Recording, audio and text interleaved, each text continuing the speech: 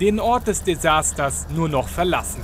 Für die deutsche Nationalmannschaft ist der Weg zur erfolgreichen Titelverteidigung schon nach der Gruppenphase zu Ende.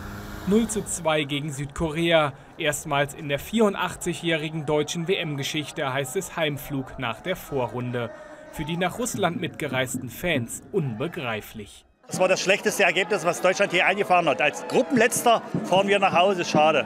Aber es war Schlafwagenfußball und ich muss sagen, wir haben es nicht besser verdient. Technisch alles okay, alles schön, so Alibi-Pässe. Das reicht aber nicht. Nicht mal gegen Südkorea. Es reicht einfach nicht. Das ist eine Frage des Wie. Wie scheidet man aus oder wie spielt man? Aber heute war das, das, das war eine Offenbarung. Auch auf der Berliner Fanmeile half alles zittern und hoffen nicht. Bei den über 100.000 Zuschauern herrschten Fassungslosigkeit und Trauer über den blutleeren und teils indiskutablen Auftritt der DFB 11. Wir haben gespielt wie arrogante Weltmeister. Wir sollten spielen, wie Deutschland 2014 gespielt hat, wie eine Mannschaft, und das haben wir nicht gemacht. Der Zusammenhalt, die Zusammenharmonie, Zusammenspiel hat überhaupt nicht gestimmt. Jeder hat an sich selber gedacht. Als erstes würde ich einen komplett Neuaufbau starten und mit dem Trainer anfangen. Die WM startet am Samstag mit den ersten Achtelfinals in die heiße Phase. Die deutschen Fans müssen dann ein anderes Land unterstützen.